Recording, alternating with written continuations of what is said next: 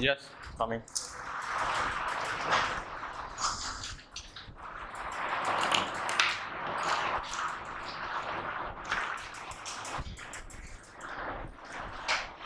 Okay okay. कल मैंने आपको तो कल हमारा जो करेंट लेसन था डेट मीन्स की transport in plant plant physiology का सेकेंड लेसन यानी first lesson according to NCERT mineral nutrition आपका पहले कंप्लीट हो चुका है और उसके साथ साथ ट्रांसपोर्टिंग प्लांट भी कंप्लीट हुआ ये दो लेसन प्लांट फिजियोलॉजी के कंप्लीट हो गए प्लांट फिजियोलॉजी के मैंने आपको सीट दिया था और साथ ही साथ आपको डायग्राम बनाने के लिए बोला था दो डायग्राम बना के लेके आए सभी लोग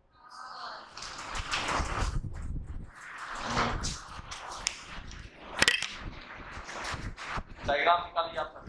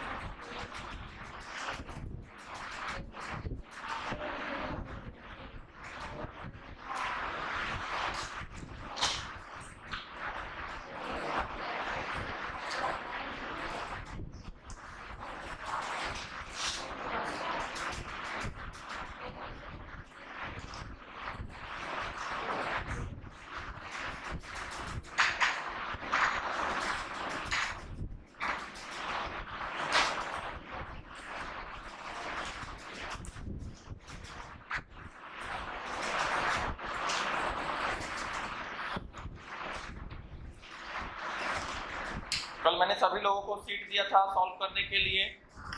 कुछ कुछ क्वेश्चन सॉल्व हुए उसमें से हाँ कोई डाउट आ रहा है कोई डाउट नहीं आ रहा है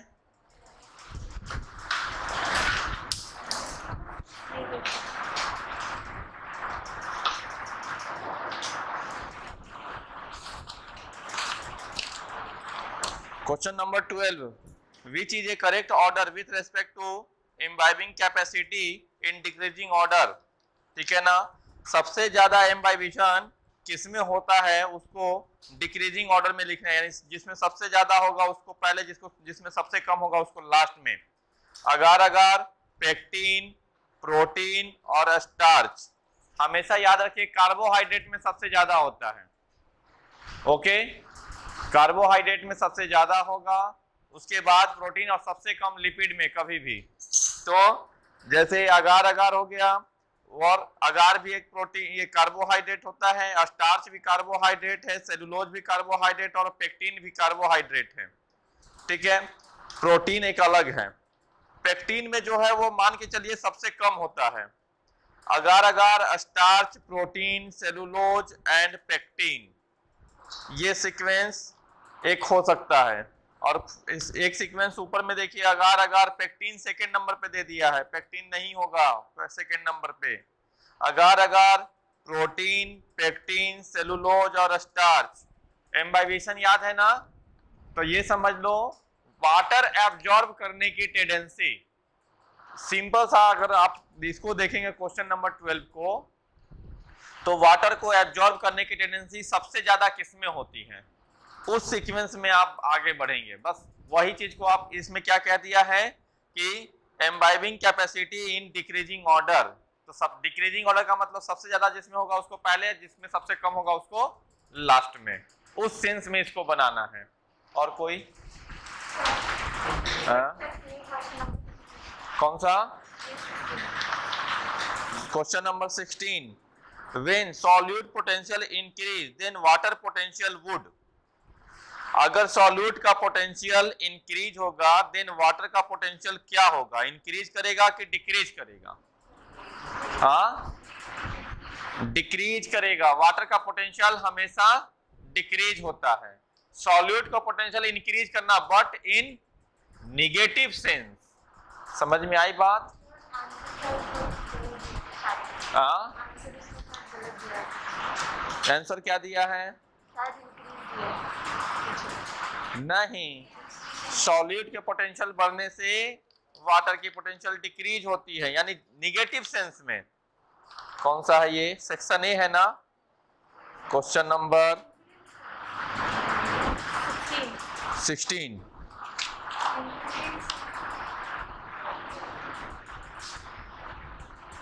सिक्सटीन का one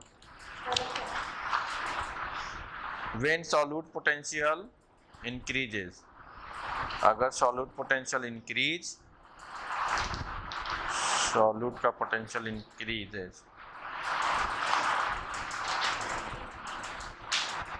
ओके देखिए निगेटिव सेंस में दोनों को लेके चलते हैं या तो निगेटिव सेंस में पॉजिटिव सेंस में दोनों को लेके चलते हैं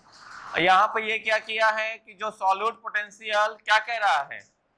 इंक्रीज करते हैं तो सॉल्यूट पोटेंशियल इंक्रीज करने का मतलब क्या हुआ माइनस सेवन के जगह पे क्या होना चाहिए माइनस सिक्स या माइनस एट इंक्रीज के सेंस में माइनस सिक्स तो ये इंक्रीजिंग ऑर्डर हुआ तो अगर ये माइनस सिक्स हुआ तो वाटर पोटेंशियल भी क्या होगा इंक्रीज करेगा कैसे कि अगर वाटर पोटेंशियल जैसे मान लीजिए बेटा कि सॉल्यूट पोटेंशियल किसी सॉल्यूशन का देखिए इस क्वेश्चन को ऐसे समझ लीजिए यहां पे मैं डील कर देता हूं यह कोई एक सॉल्यूशन है इस सॉल्यूशन का साई एस का वैल्यू माइनस सेवन है और साई पी का वैल्यू जो है वह टू है तो आप बता सकते हो साई डब्ल्यू का वैल्यू कितना आएगा माइनस फाइव हो गया और दूसरा कह रहा है कि सॉल्यूट पोटेंशियल को इंक्रीज करना है तो अब इंक्रीज करने का मतलब ये साई एस है और इसमें सॉल्यूशन साई एस का वैल्यू इंक्रीज करके कितना कर दिया माइनस सिक्स एम तो और साई पी का वैल्यू सेम है टू एम तो साई डब्ल्यू का वैल्यू कितना हो जाएगा माइनस फोर एटीएम तो किसका वैल्यू ज्यादा है साई डब्ल्यू का वैल्यू यानी ए सेल का साई डब्ल्यू का वैल्यू ज्यादा है या बी सॉल्यूशन का ए सॉल्यूशन है बी सॉल्यूशन आपका हाँ? क्यों साई एस का वैल्यू बढ़ना मतलब इसीलिए हम बार बार कहते हैं कि अगर साई एस का वैल्यू बढ़ रहा है बढ़ेगा कब बोलेंगे इन निगेटिव सेंस लगाना पड़ेगा और अगर इन निगेटिव सेंस नहीं लगाए हैं इसका मतलब माइनस सेवन से बड़ा होता है कौन माइनस सिक्स तो जब ये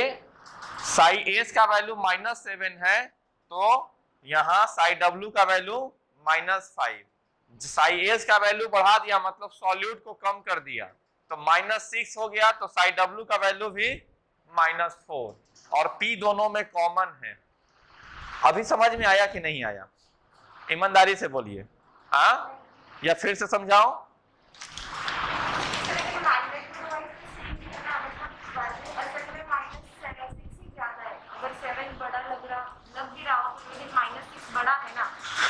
माइनस सिक्स ये बड़ा हुआ ना तो यही तो कह रहा हूं कि अगर साई एस का वैल्यू बढ़ाएंगे ठीक है तो साई डब्ल्यू का वैल्यू भी क्या होगा बढ़ेगा दोनों को या तो पॉजिटिव में लेके चलिए या फिर निगेटिव में लेके चलिए अब समझे और कुछ दीजिए इसको हाँ thirty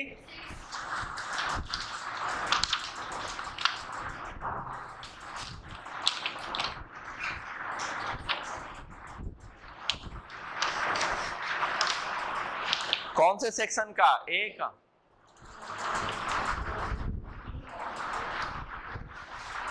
the water rises in a straw due to suction it is due to hydrostatic pressure का मतलब समझते हो DPD is the hydrostatic pressure suction pressure उसको कहते हैं डीपीडी को और negative hydrostatic pressure and positive hydrostatic suction pressure water का अंदर जाना पॉजिटिव प्रेशर है और सेल से वाटर का बाहर आना निगेटिव प्रेशर होता है आप एक चीज खोल के देखिएगा वहां पर साइड पोटेंशियल में लिखाया हुआ होगा एक जगह पे कहीं पर तो पॉजिटिव कम मानेंगे और निगेटिव कम मानेंगे हम लोग या प्रेशर पोटेंशियल निकाल के देखिए प्रेशर पोटेंशियल निकालिए नोटबुक में कहां पर जहां पर प्रेशर पोटेंशियल लिखाया है वहां पर निकाल के देखिए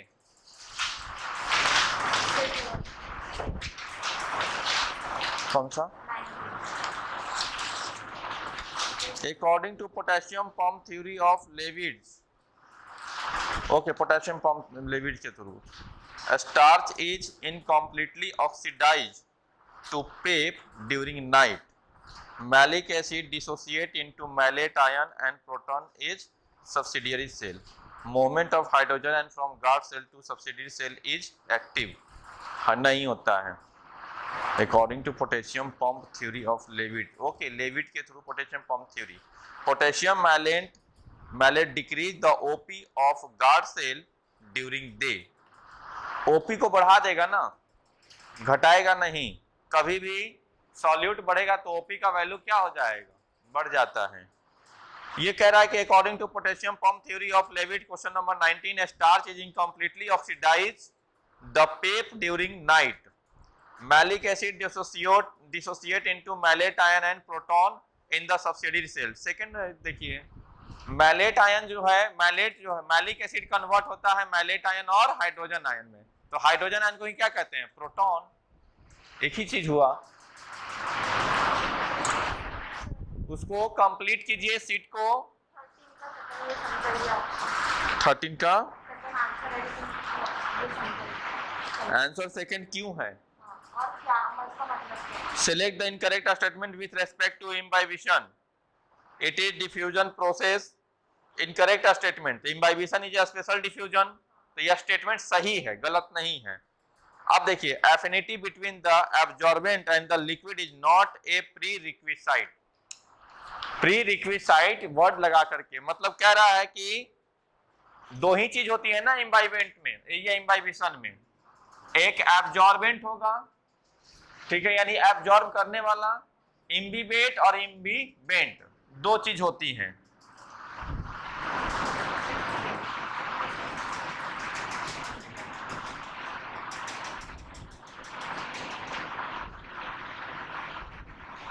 और इम्बाइबेंट ठीक है ना तो जिसके वजह से प्रोसेस क्या होता है इम्बाइबिशन होता है ये दोनों के वजह से इम्बाइबिशन होता है तो क्वेश्चन कह रहा है कि affinity between the absorbent and the liquid is not a prerequisite ये पहले से रिक्वेसाइट मतलब पहले से तय नहीं होता है कि कौन इम्बीबेंट है और कौन इम्बाइबेंट है ऐसा है क्या पहले से तय होता है ये लकड़ी है और पानी है तो आप बता सकते हो ना कि कौन एब्जॉर्ब करने वाला है और कौन एब्जॉर्ब होने वाला है ये पहले से तय है ना तो पानी अगर है तो वह एब्जॉर्ब होने वाला है और लकड़ी है तो वह एब्जॉर्ब करने वाला ये तो पहले से तय है लेकिन स्टेटमेंट करा कि यह पहले से तय नहीं होता ऐसा है क्या तो ये गलत स्टेटमेंट है ना तो इसीलिए स्टेटमेंट आंसर है क्योंकि इनकरेक्ट पूछा है क्या बोले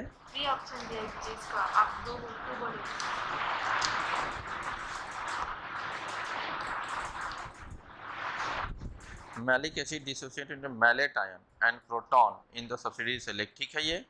moment of hydrogen from guard cell to subsidiary cell movement of hydrogen ion from guard cell okay guard cell से hydrogen ion bahar aata hai tabhi to potassium ion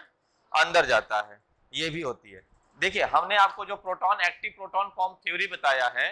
ki during the night stomata kyun close hota hai during the day stomata kyun open होता है तो ये theory जो है ना अलग अलग एथी के हिसाब से है उसमें एक लेबिड थ्योरी है जो अभी पढ़ना अब नहीं है आपको जैसे प्लाज्मा मेम्ब्रेन पढ़े आप तो प्लाज्मा मेम्ब्रेन में आपको तीन मॉडल आया होगा ठीक है Robertson model Singer Nicolson model and fluid mosaic model तो रॉबर्टसन मॉडल एंड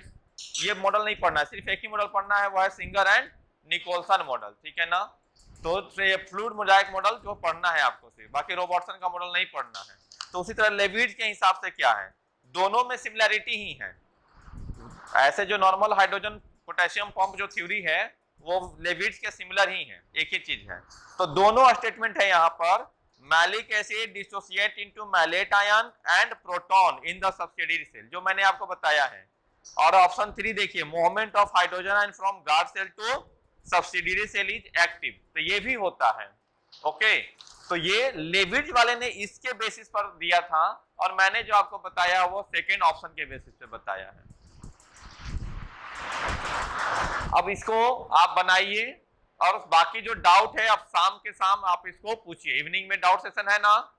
तो उस समय जो भी डाउट है वो आप आकर के फिर इसको क्लियर कीजिए और अभी आपको दो तीन बातें और बताएंगे लेकिन अभी नहीं बताऊंगा अभी आप पहले सीट को सॉल्व कीजिए और आज जो लेसन स्टार्ट कीजिए कभी भी कोई भी एक लेसन कंप्लीट होने के बाद में जब दूसरा लेसन स्टार्ट करते हैं तो कम से कम एक से दो पेज छोड़ दीजिए नोट्स में ऐसा नहीं कि इस पेज में ख़त्म हुआ और अगले पेज से आप स्टार्ट कर देते हो तो कुछ पॉइंट जैसे आपको एक पॉइंट आपको ढूंढना है साइटो प्लाज्मिक स्ट्रीमिंग क्या होती है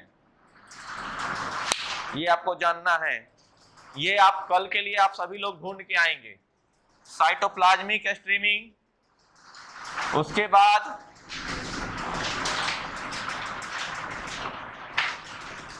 रेट ऑफ ट्रांसपायरेशन किस प्लांट में सबसे ज्यादा होगा जेरोफेटिक प्लांट में एक्वेटिक प्लांट में या टेरेस्ट्रियल प्लांट में ये एक चीज ढूंढना है आपको ये सब आपको घर से करके आना है दूसरा है रेट ऑफ ट्रांसपायरेशन किसमें हाई होगा तो आपको रैंकिंग देने हैं जैसे aquatic plant second xerophytic plant and aquatic plant xerophytic plant and terrestrial plant उसी तरह थर्ड खोजना है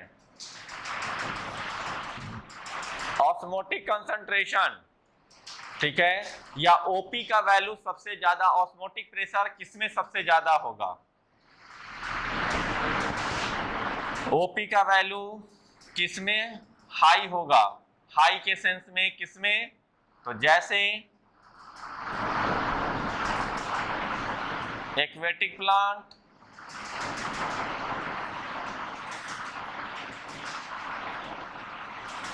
xerophytic plant aquatic plant xerophytic plant और लेगून प्लांट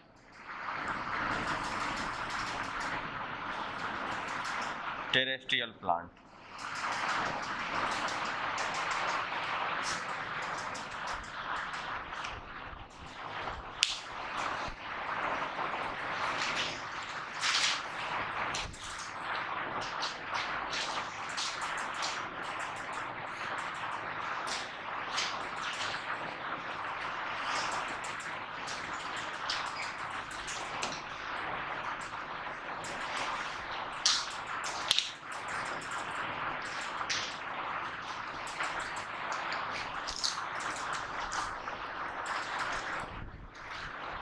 हो गया ये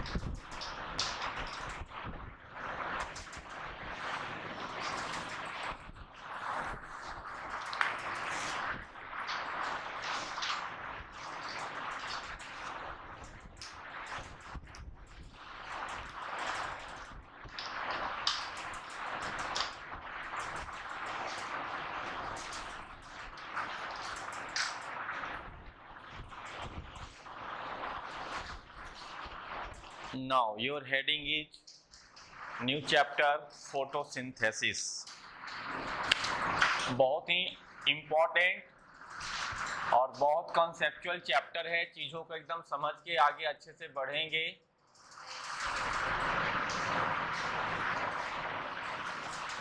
फोटोसिंथेसिस चैप्टर का नाम क्या है photo synthesis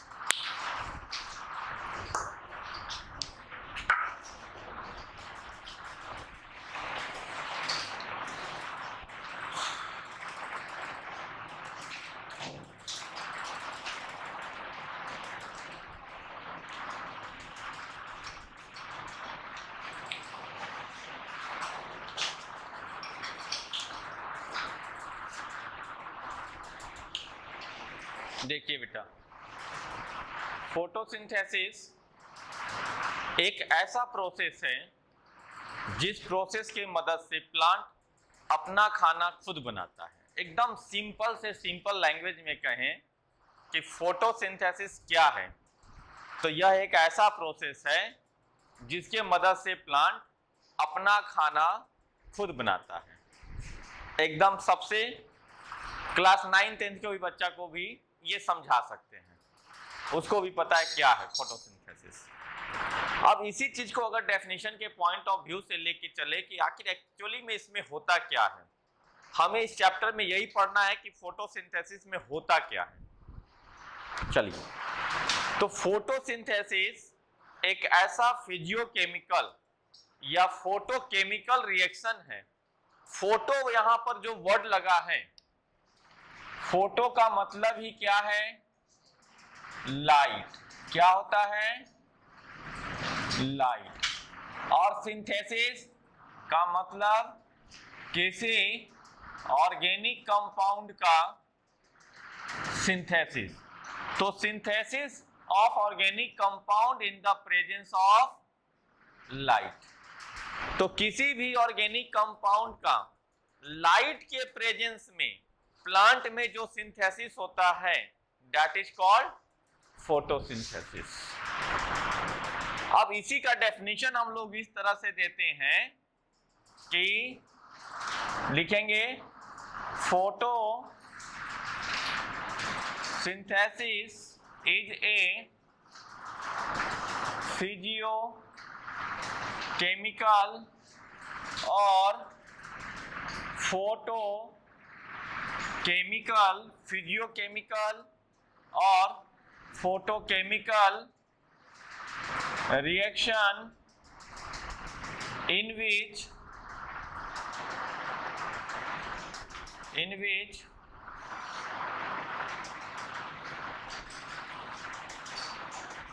inorganic raw material inorganic raw material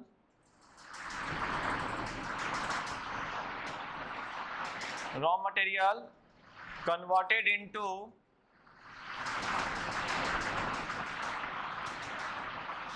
converted into inorganic raw material converted into organic material bracket में कार्बोहाइड्रेट और इनको इनऑर्गेनिक रॉ मटेरियल के ब्रैकेट में आप लिख सकते हैं two and two O this is the inorganic raw material converted into organic material carbohydrate in the presence of in the presence of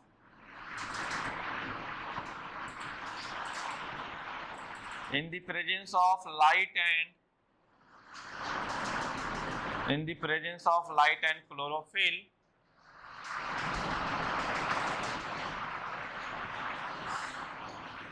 and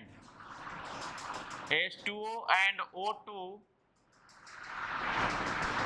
produce and produce as end product ये पूरा definition हुआ कि photosynthesis एक ऐसा process है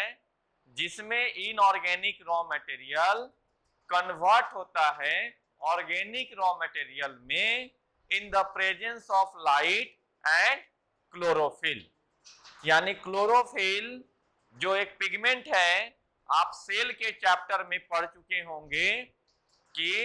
chlorophyll एक green colour का pigment है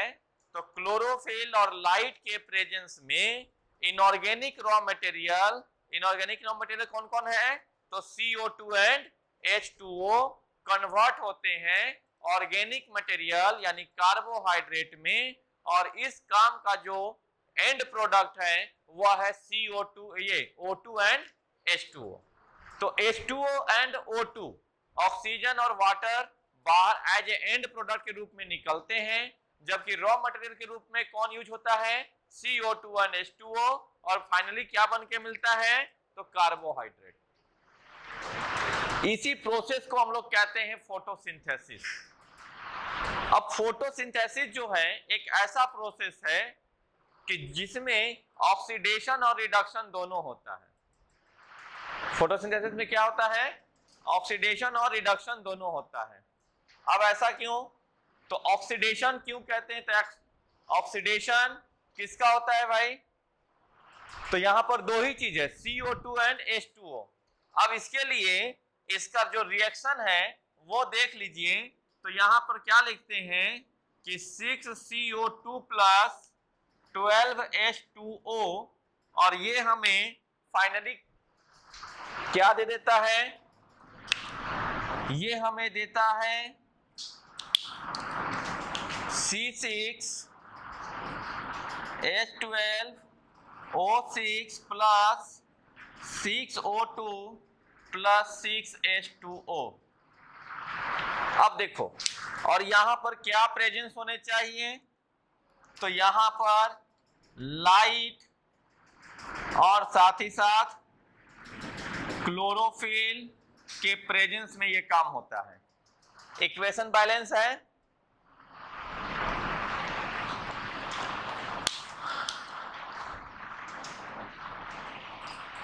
अब यहां पर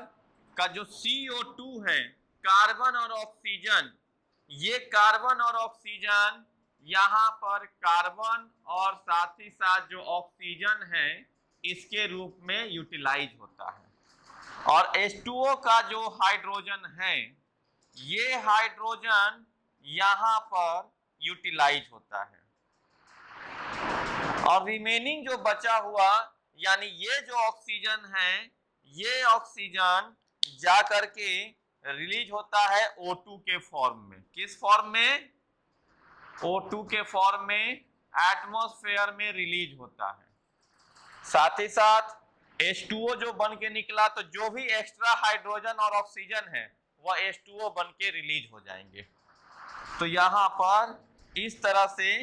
ये काम हुआ अब ये इस तरह से एरो से दिखाने का मतलब क्या है वो अभी आगे समझ में आएगा कि जो H2O बन के निकलता है या प्लांट कहते हैं ना कि CO2 को लेता है और O2 को रिलीज करता है तो जो O2 को रिलीज करता है वो O2 कहां से आता है उसमें कहीं ना कहीं से ऑक्सीजन तो आता होगा ना भाई तो वो ऑक्सीजन वाटर के मॉलिक्यूल को तोड़ता है और तोड़ने के बाद यानी जो H2O है वो डिसोसिएट होते हैं हाइड्रोजन अलग होता है और ऑक्सीजन अलग होता है यही ऑक्सीजन चला जाता है एटमोस्फियर में और ये जो हाइड्रोजन है वह यूज हो गया कार्बोहाइड्रेट के फॉर्मेशन यानी सिंथेसिस में अब ये सब पूरा पढ़ेंगे चिंता की बात नहीं है बहुत आराम से पढ़ेंगे बहुत समय है हमारे पास हम लोग पंचवर्षीय योजना से चलेंगे है ना पांच साल है हमारे पास है क्या पांच साल तो तो कैसे चलना पड़ेगा तेजी से पहले बोलते थे ना slowly and steady win the race क्या था slowly and steady run win the race ऐसे है वो समय खत्म हो गया वो जमाना बीत गया कि स्लोली स्लोली चलेंगे और मैच जीत लेंगे नहीं अब जमाना किसका है टी ट्वेंटी का है आइए फटाफट शतक लगाइए और निकल जाइए नहीं तो पीछे हो जाएंगे क्योंकि लगाने वाले मेहनत करने वाले आपसे दुगने स्पीड से चल रहे हैं बाइक चलाते हो या साइकिल चलाते हो रोड पर ना साइकिल वाले तो कम ही होंगे तो आप अपना स्पीड थोड़ा सा कम किए पीछे से कोई क्या करता है ओवरटेक करता है ना तो वही आप अपना स्पीड कम किए ऑल ओवर इंडिया में इतने सारे बच्चे हैं वो अपना स्पीड बढ़ा के आपको ओवरटेक करके अपना सीट कंफर्म कर लेंगे तो अगर आपको भी अपना सीट कंफर्म करना है तो आपको अपने स्पीड को डे बाय डे चाहे वो थोड़ा हो या एक क्वेश्चन का हो या दो क्वेश्चन का हो अपने स्पीड को यानी वेलोसिटी को एक्सलरेट करना पड़ेगा घटने तो देना ही नहीं है या तो मेंटेन करना है या फिर आगे बढ़ाना है नीचे नहीं आने देना है अब यहां तक की ये बातें समझे अब देखो यहां पर जब किसी कंपाउंड से ऑक्सीजन निकलता है तो क्या होता है ऑक्सीडेशन या रिडक्शन और कहीं पर हाइड्रोजन आके जुटता है तो क्या होता है ठीक यहां पर CO2 यानी जो कार्बन है इस कार्बन में आके हाइड्रोजन जुटा है ना तो इसका क्या हुआ है रिडक्शन और यहां से ऑक्सीजन निकला है तो क्या हुआ है तो रिडक्शन या तो आप ऑक्सीजन के पॉइंट ऑफ व्यू से चलेंगे या फिर हाइड्रोजन के पॉइंट ऑफ व्यू से चलेंगे तब ये इक्वेशन जो है आपको ऑक्सीडेशन और रिडक्शन दोनों का लगेगा किसका लगेगा ऑक्सीडेशन और रिडक्शन दोनों का लगेगा देखिए ऑक्सीडेशन रिडक्शन आप पढ़े होंगे या तो कहीं पर ऑक्सीजन का जुटना या हाइड्रोजन का निकलना ठीक है तो वो क्या हो जाता है ऑक्सीडेशन या फिर कहीं पर हाइड्रोजन का जुटना या ऑक्सीजन का निकलना तो क्या हो जाता है रिडक्शन तो ये ऑक्सीजन और हाइड्रोजन के बेसिस पर लेकर के चलते हैं तो यहाँ पर ये दोनों चीज होता है एक जगह हाइड्रोजन जुटता है तो दूसरी जगह हाइड्रोजन निकलता है तो इस पॉइंट ऑफ व्यू से चलते हैं तो ये ऑक्सीडेशन रिडक्शन का प्रोसेस है चलेंगे लिखेंगे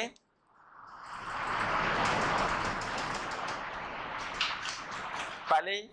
एक टर्म लिखेंगे photosynthesis is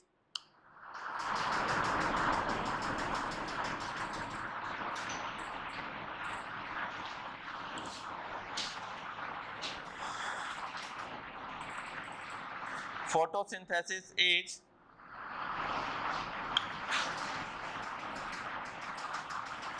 anabolic endergonic reaction photosynthesis anabolic और इंडरगोनिक रिएक्शन है अब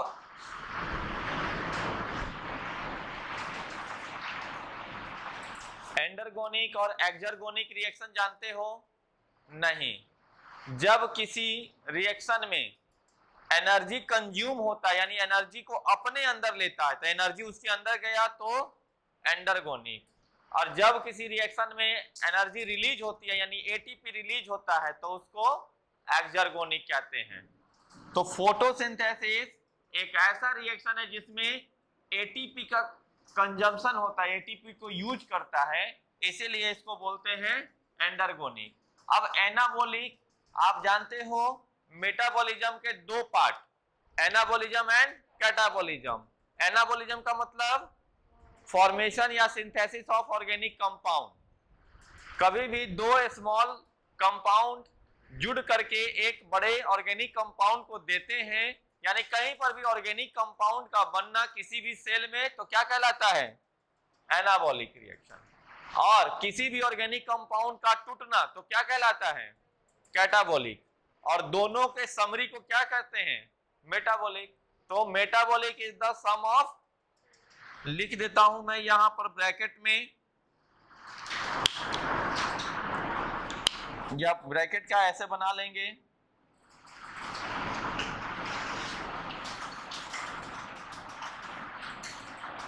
जिसको याद नहीं है लिख सकते हैं मेटाबॉलिक रिएक्शन ये क्या है सम ऑफ टू किसका सम है तो एक है एनाबोलिक और दूसरा है कैटाबोलिक एनाबोलिक का मतलब synthesis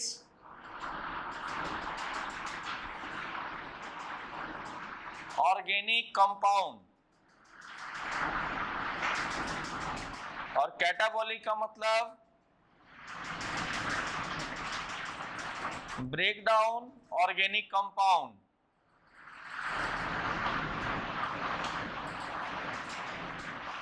break down organic break down organic compound break down organic compound synthesis organic compound और कैटाबोलिक ब्रेकडाउन ऑर्गेनिक कंपाउंड उसी तरह एंडरगोनिक और एक्जरगोनिक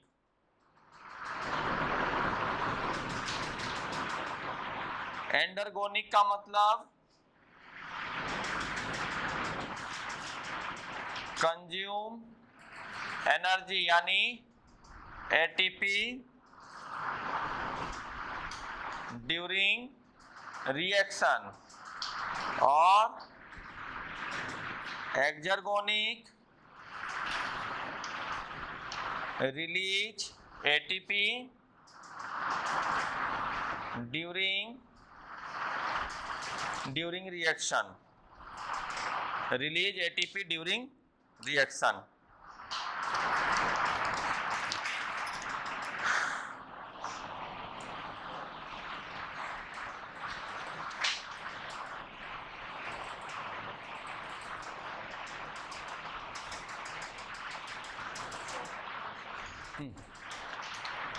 हुआ बेटा यहां तक अब आइए यहां तक की बातें पूरी है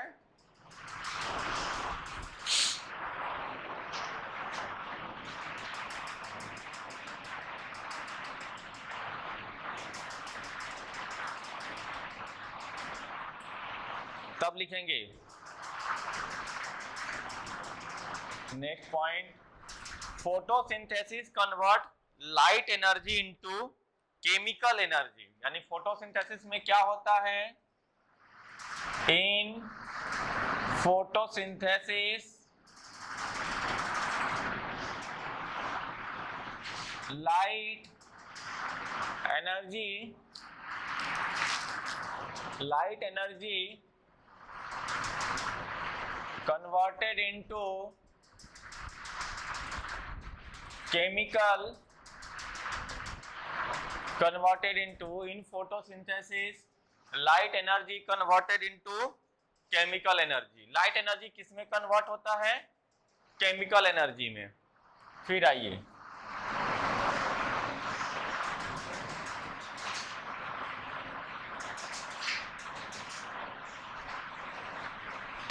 photosynthesis is a oxidation, reduction, reaction.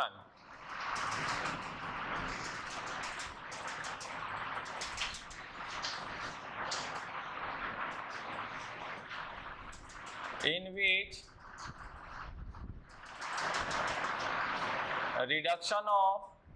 CO2 and oxidation of water CO2 का रिडक्शन क्यों हुआ यहां पर रिएक्शन देख लीजिए तो CO2 में क्या के जुटा है हाइड्रोजन और वो H2O से क्या बाहर निकल गया है ऑक्सीजन तो इसीलिए यह ऑक्सीडेशन रिडक्शन रिएक्शन है तो हाइड्रोजन निकला इसमें से हाइड्रोजन निकल के इसमें चला गया इसलिए इसका ऑक्सीडेशन और इसमें हाइड्रोजन आके जुटा इसलिए इसका रिडक्शन तो इसीलिए ऑक्सीडेशन रिडक्शन रिएक्शन है तो हाइड्रोजन के पॉइंट ऑफ व्यू से चले हैं कहीं पर हाइड्रोजन आके जुटना रिडक्शन कहीं से हाइड्रोजन का निकलना ऑक्सीडेशन तो ये H2O से क्या निकला है हाइड्रोजन निकल गया है ना तो H2O का क्या हुआ ऑक्सीडेशन और हाइड्रोजन आके किस में जुटा है CO2 में तो CO2 का क्या हुआ रिडक्शन तो इसीलिए फोटोसिंथेसिस एक ऑक्सीडेशन रिडक्शन रिएक्शन है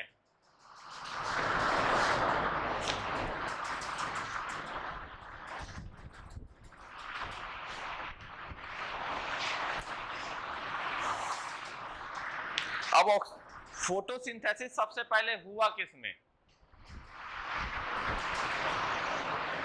तो फोटोसिंथेसिस सबसे पहले बैक्टीरिया में हुआ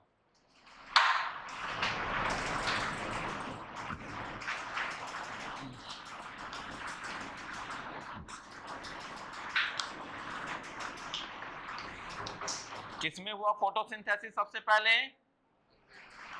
और ट्रू ऑक्सीजेनिक फोटोसिंथेसिस ऑक्सीजेनिक यानी ऐसा फोटोसिंथेसिस जो रिएक्शन अभी हम लोग यहाँ पर लिखे थे यानी जिसमें ऑक्सीजन रिलीज होता है तो the first true oxygenic photosynthesis is occurs in cyanobacteria का नाम सुना है ब्लू ग्रीन एलगी उसमें हुआ था लिखेंगे first photosynthesis occurs in bacteria. First photosynthesis occurs in bacteria but first true oxygenic photosynthesis occurs in cyanobacteria या blue green algae BGA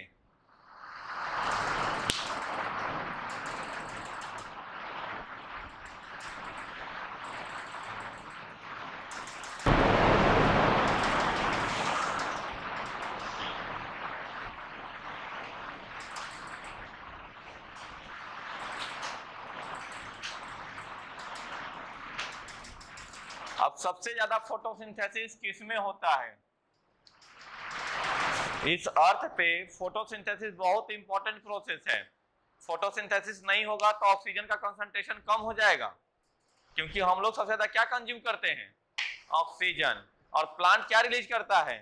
oxygen तो अगर फोटोसिंथेसिस कम होगा मतलब ऑक्सीजन कम रिलीज होगा ऑक्सीजन रिलीज कम होना और कंजम्पशन ज्यादा होना तो कंसंट्रेशन क्या होगा बढ़ेगा कि घटेगा कंसंट्रेशन घट जाएगा ना रे भाई अरे आपके पास पहले से तीन रोटी है और आप लेकर के आए हो पांच रोटी टोटल कितने रोटी अब रोटी लाना बंद कर दिया और खाना ज्यादा स्पीड से बढ़ा दिया तो बढ़ेगा कि घटेगा तो वही चीज ना पूछ रहा हूं मैं कि एक तो ऑक्सीजन का खपत हम लोग पॉपुलेशन बढ़ा के बढ़ा ज्यादा कर रहे हैं और अगर फोटोसिंथेसिस नहीं होगा तो रिलीज होना भी कम हो जाएगा तो O2 का कंसंट्रेशन हमारे एटमोस्फेयर में बढ़ेगा कि घटेगा घटेगा लिखेंगे तो वही कह रहा हूं कि फोटोसिंथेसिस सबसे ज्यादा कहा होता है तो maximum photosynthesis on the earth is carried out by algae किसके थ्रू प्लांट किंगडम में भी मैंने लिखाया है एलगी में लिखेंगे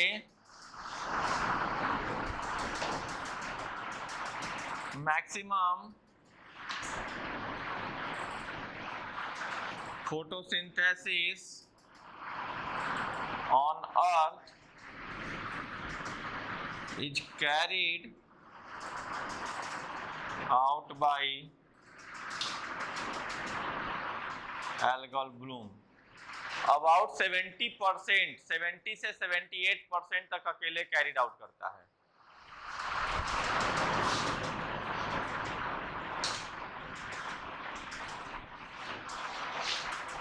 तो एल्गल ब्लूम का मतलब जितने भी एल्गी हैं चाहे ब्लू ये ग्रीन एल्गी हो ब्राउन एल्गी हो या रेड एल्गी हो ये जितने भी एल्गी हैं जो भी एल्गी फोटोसिंथेसिस करता है तो सारे प्लांट में सबसे ज्यादा किसके मदद से होता है फोटोसिंथेसिस एलगी के मदद से होता है क्यों होता है एलगी जबकि एलगी का साइज तो काफ़ी छोटा है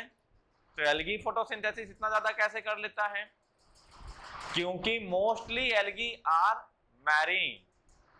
algae जो है वो कैसे हैं कहाँ रहते हैं मैरीन वाटर में और इस अर्थ पे टोटल सरफेस अर्थ के टोटल सरफेस एरिया का लगभग 70 परसेंट क्या है पानी है तो इसलिए सबसे ज्यादा क्या है एलगी है इसीलिए सबसे ज्यादा फोटोसिंथेसिस कहाँ होता है एलगी से होता है 70 परसेंट पानी है इस धरती के 70 परसेंट हिस्से में पानी है और जो पानी 70 परसेंट पानी है यानी जो समुद्र है उसमें सबसे ज्यादा कौन प्लांट सर्वाइव करता है तो एलगी इसलिए एलगी का नंबर ज्यादा है और एलगी क्या करता है फोटोसिंथेसिस इसीलिए सबसे ज्यादा फोटोसिंथेसिस कौन कैरिड आउट करेगा तो एलगी करेगा आप समझ गए बात को अब ये जो हम लोग पढ़ाई कर रहे हैं फोटोसिंथेसिस के बारे में इसके बारे में कुछ रिसर्च हुआ होगा कुछ कुछ साइंटिस्ट लोग आए होंगे अपना अपना कुछ कुछ व्यू दिए होंगे तो चलिए थोड़ा उनके बारे में भी हम लोग पढ़ लें कि क्या क्या व्यू देके चले गए वो जिसे हम आज यहाँ झेल रहे हैं तो साइंटिस्ट कौन कौन से साइंटिस्ट ने क्या कहा देखिए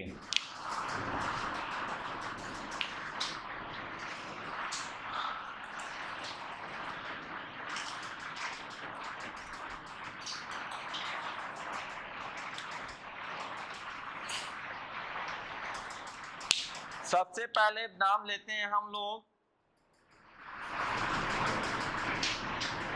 स्टेफेन हेल्स का he is the father of plant physiology Stephen Hales इनको फादर ऑफ प्लांट फिजियोलॉजी कहते हैं और इन्होंने ही सबसे पहले इंपॉर्टेंस ऑफ O2 यानी एयर के बारे में बताया कि एयर का फोटोसिंथेसिस में क्या इंपॉर्टेंस है तो he considered as father of plant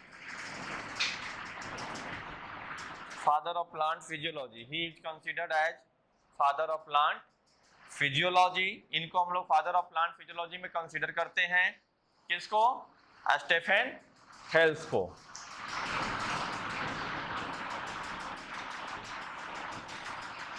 और इन्होंने क्या बताया find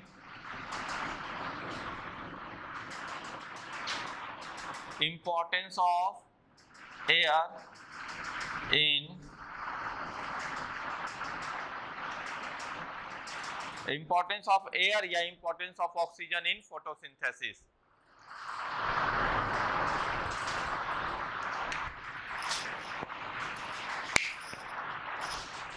ये कारनामा कब हो गया हमसे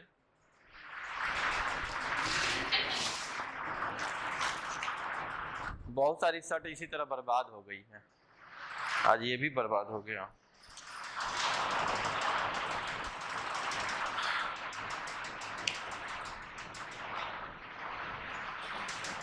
इस टाइम पे नींद उंद आता है तुम लोग को नींद वगैरह नहीं आती है नहीं क्यों ये तो नींद आने का टाइम भी है खाना वाना खा के आते हो ना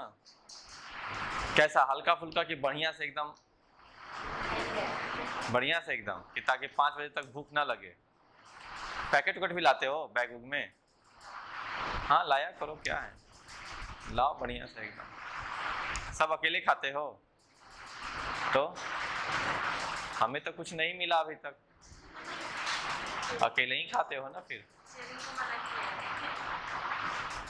शेयरिंग ग्रुप में मना किया एक जगह ग्रुप होकर के शेयरिंग करने से मना है लेकिन दो पैकेट लाए तो एक पैकेट तो गुरु जी को दे ही सकते हैं उसके लिए थोड़े ना मना है है ना अच्छा बहाना इसलिए कहा ना कोरोना कुछ करे या ना करे इंसान से इंसान के बीच की दूरी जरूर बढ़ा दिया ऑलरेडी इंसान से इंसान दूर रहता था अब और ज्यादा रहने लगेगा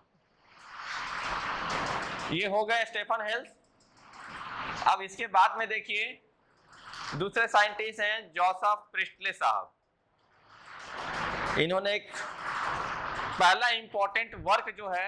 इन्होंने किया इस फील्ड में क्या किया भाई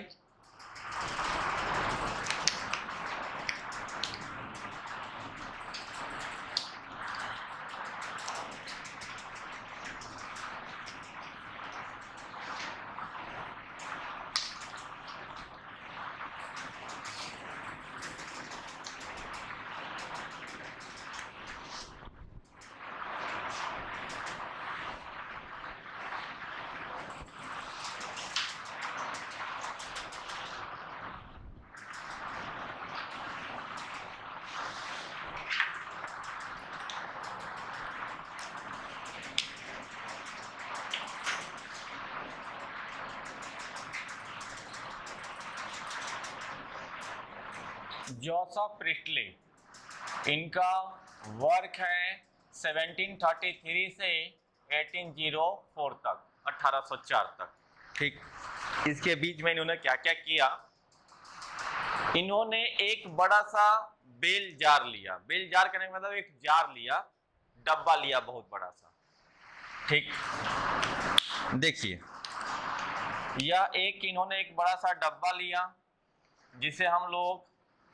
बेल जार कह सकते हैं क्या कहते हैं बेल जार और इस डब्बे को बंद कर दिया है और इस डब्बे के अंदर इन्होंने एक कैंडल को जला के रख दिया बर्निंग कैंडल किसको बर्निंग कैंडल को यह एक यह एक बर्निंग कैंडल है जलता हुआ कैंडल जल रहा है और इसके साथ एक चूहे को बंद कर दिया किसको जलते हुए कैंडल के साथ एक चूहा को रख दिया समस्या ये नहीं है कि इन्होंने चूहा को रख दिया समस्या ये है कि हम चूहे को कैसे बनाएं है ना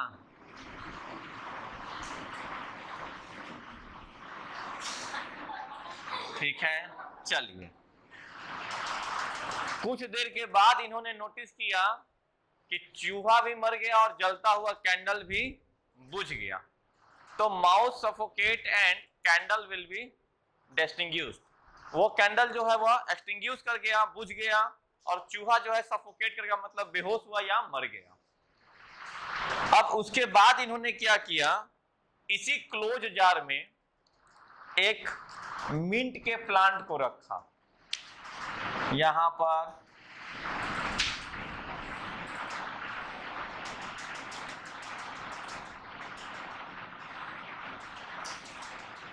ये एक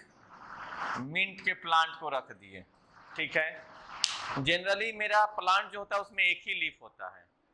ठीक है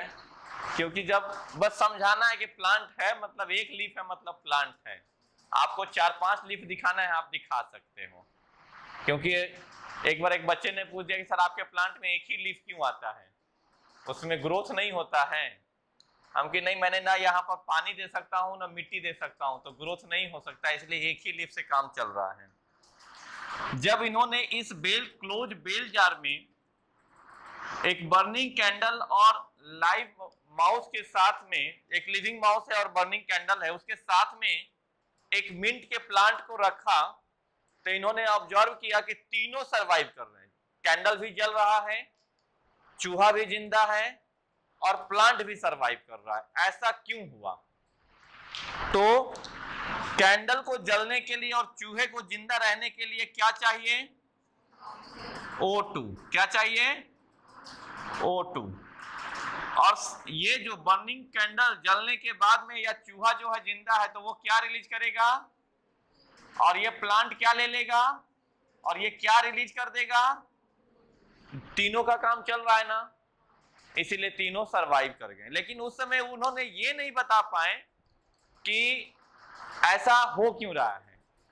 उन्होंने अपने ऑब्जर्वेशन में यही हाइपोथेसिस दिया कि whatever air damage by the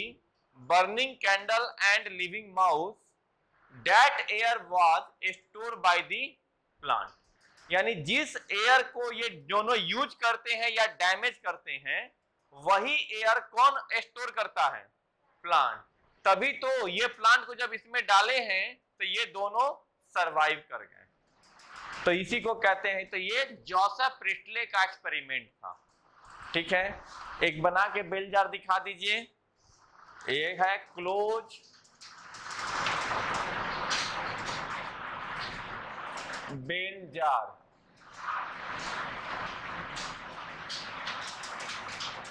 mint plant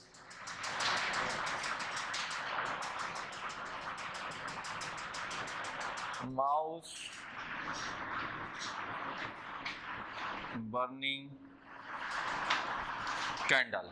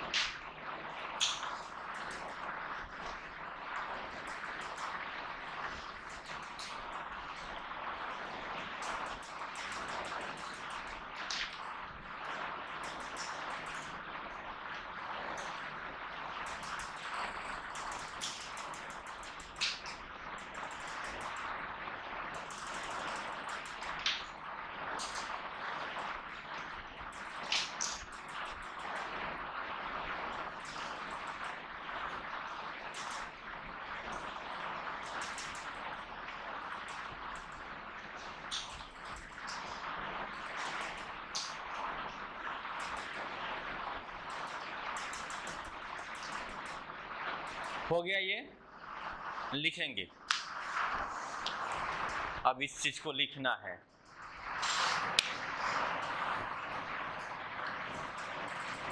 लिखेंगे Priestley kept a burning candle and Priestley kept a burning candle and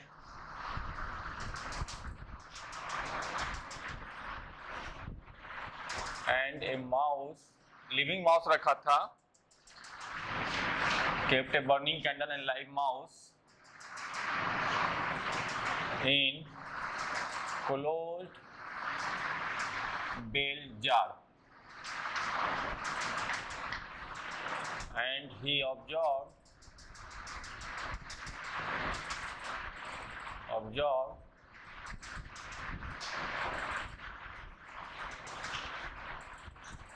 candle was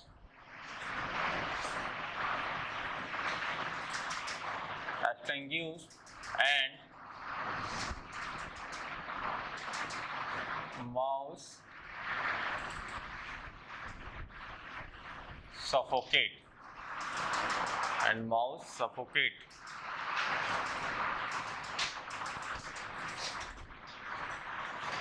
but when but when but when when a green plant keep in jar both are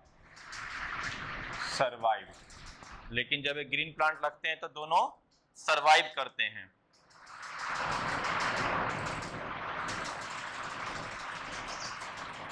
Italy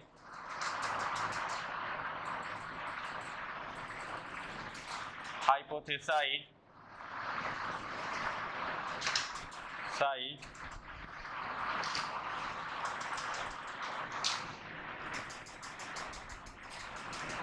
whatever air damaged by mouse and whatever air damaged by mouse and burning candle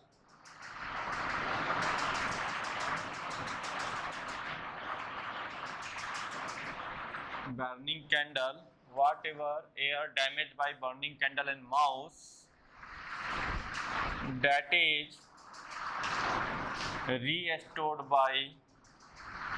plant तो जिस air को ये damage करते हैं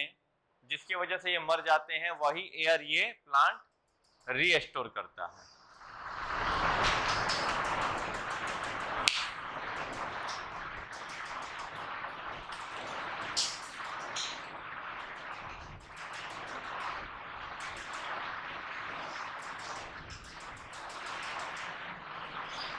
Joseph Presley हो गए Joseph Presley के बाद में है हम्म, एक टी डब्ल्यू एंजलमैन है डी सासुरे है वैन नील है और एक और हैं जो इन्हीं के इसको एक्सपेरिमेंट को सेम परफॉर्म किया था लेकिन बताए थे कि जब सनलाइट में रखते हैं तो वह एक बबल्स का फॉर्मेशन करता है और वही बबल्स ऑक्सीजन होता है उसका नाम है देखिए तो जी इसमें होगा नाम खाली निकालिए ना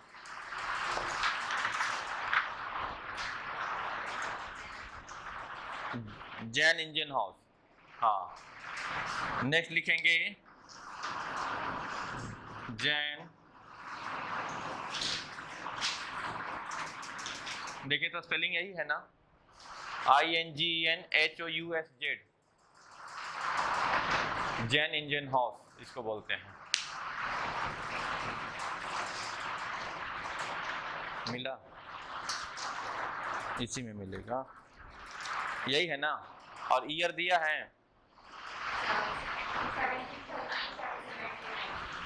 seventeen seventeen thirty two okay seventeen thirty से सेवेंटीन नाइनटी नाइन यस सत्रह सौ निन्यानवे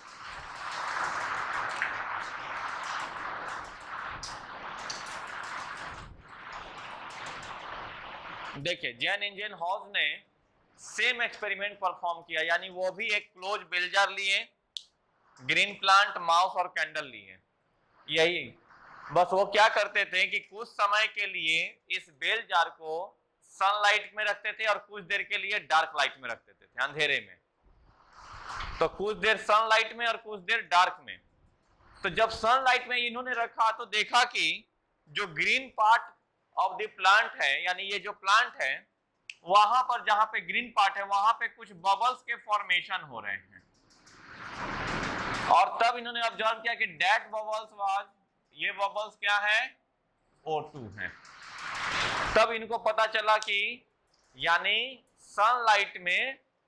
टू रिलीज होता है और वही टू का कंजम्पशन या बर्निंग कैंडल या माउस करता है लिखेंगे जैन इंजन हाउस में ही perform same he perform similar Priestley experiment he perform similar Priestley experiment he perform similar Priestley experiment he perform similar Priestley experiment in sunlight and in dark light. He observed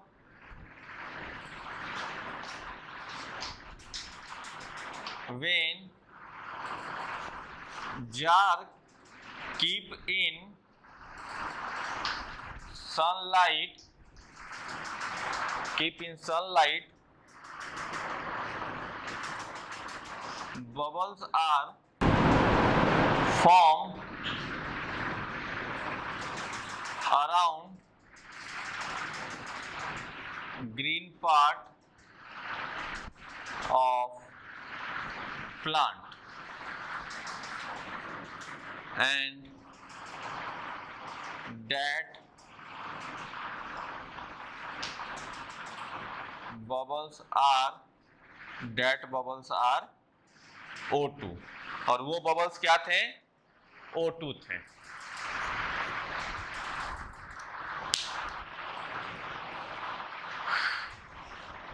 ये bubbles जो यहां पर बन रहे थे वो bubbles actual में क्या थे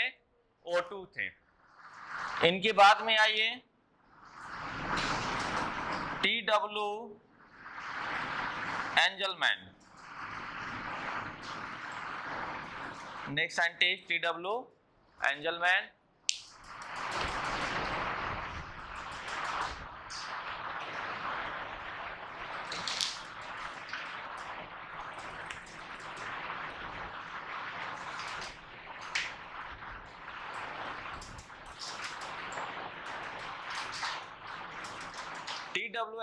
ने एक्शन स्पेक्ट्रम को डिस्क्राइब किया एक्शन स्पेक्ट्रम कहने का मतलब कि blue light red light green light yellow light कौन से लाइट में ज्यादा फोटोसिंथेसिस होता है तो उसको कहते हैं हम लोग एक्शन स्पेक्ट्रम इन्होंने क्या किया कि ग्रीन एलगी जैसे क्लाइडोफोर को क्लाइडोफोरा जो है वो ग्रीन एलगी है तो ग्रीन एलगी को डिफरेंट लाइट को सबसे पहले इन्होंने डिफ्रेंशिएट किया एक प्रिज्म से जब लाइट सनलाइट को एक प्रिज्म से गुजारेंगे तो वो क्या होगा सेवन अलग अलग स्पेक्ट्रम में बटेगा और जब लाइट सेवन अलग अलग स्पेक्ट्रम में बट गया तो वहां पर इन्होंने कुछ क्लाइडोफोर को रख दिया और देखा कि कुछ समय के बाद मैक्सिमम क्लाइडोफोर जो है वो एक्मुलेट हुए हैं या तो वायलेट लाइट के पास या फिर रेड लाइट के पास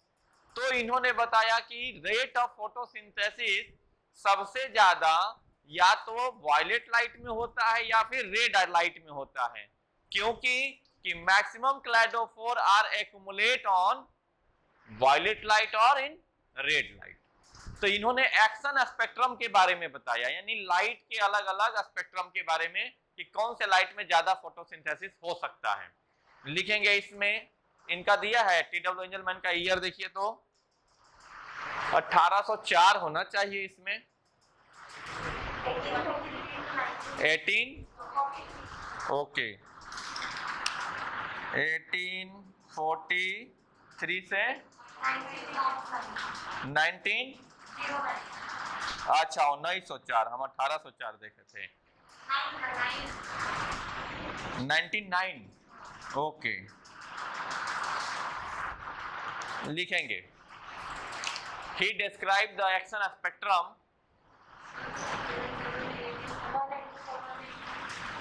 सही से बता रहे मार के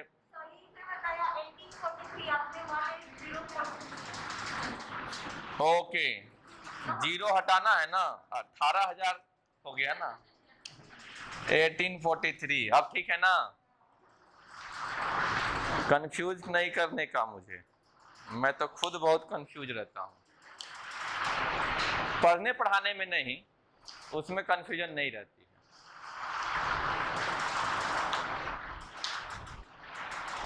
अपनी जिंदगी में मैं एक ही बार कंफ्यूज हुआ था शादी करूं कि ना करूं उसके बाद फिर कंफ्यूजन खत्म हो गया ये लिखा T W Engelmann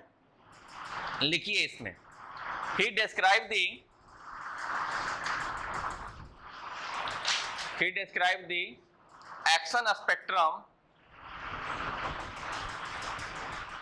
he described the action action spectrum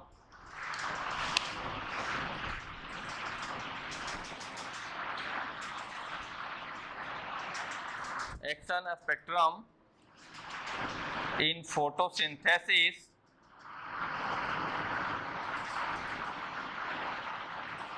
in photosynthesis ठीक है तब लिखे फोटो देखे he pass the sunlight from prism he pass the sunlight from a prism he pass the sunlight from a prism he passed the sunlight from a prism and keep cladophore and keep cladophore and keep cladophore in these differentiated light in these differentiated light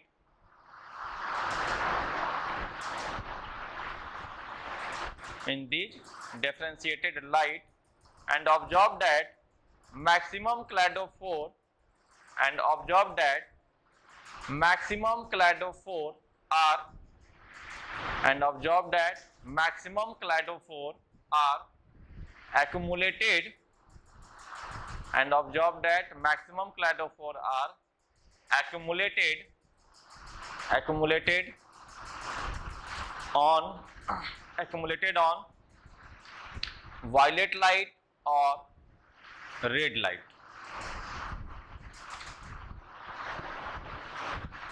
violet light और red light this indicate maximum photosynthesis this indicate maximum photosynthesis occurs in this indicate maximum photosynthesis occurs in violet light और in red light तो maximum photosynthesis किस में होता है violet light में या फिर रेड लाइट में होता है ये एक्सपेरिमेंट इस बात को इंडिकेट किया तो टी डब्ल्यू एंजल मैन का एक्शन स्पेक्ट्रम पे काम था ओके इसके आगे जो है अभी बहुत सारा साइंटिस्ट का नाम बाकी है डी शासुरे है और डी शासुरे डी शासुरे वान नील और हैं हाँ जूलियस वॉन सैक ठीक है ना ये सब है जूलियस वॉन सैक का ग्लूकोज कहाँ स्टोर होता है उस पाठ के बारे में है बताया हुआ चलिए इसके आगे का कल कराता हूँ थोड़ा उधर के बच्चों का हालचाल ले लू कोई डाउट है अभी भी तो पूछ लीजिए